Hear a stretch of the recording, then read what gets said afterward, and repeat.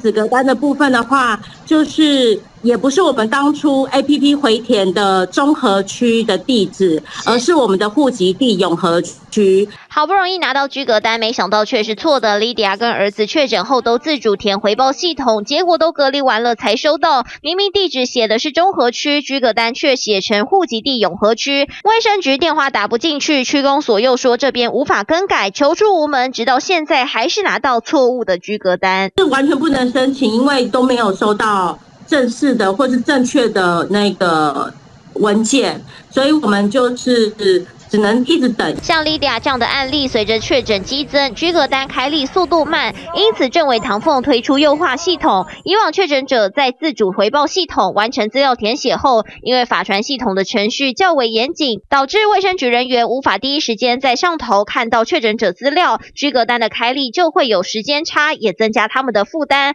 往往开立超过一天才会收到。但有了新的系统之后，省掉法传系统，透过 MBBS，也就是确诊个案管。管理系统直接看得到自主回报系统资料，五到十小时之内就能拿到居格单。但万一资料填写错误，民众该怎么办？对，之后大概错误率会减到最低了哈。先从错误率来，那当然需要更改，可能还是要透过另外的系统。指挥中心不断呼吁自主回报系统没错误再送出，否则增行政流程。现在有了新的 MBBS 系统，第一线卫生局人员能直接看到资料，若要更改也较方便。政委唐凤。再出手，就盼减缓第一线人员的负担。别别新闻连至周轩台北报道，掌握全球情势、国际新闻，全新选择 YT 频道 TVBS 国际 Plus，扩大视野。欢迎订阅并开启小铃铛。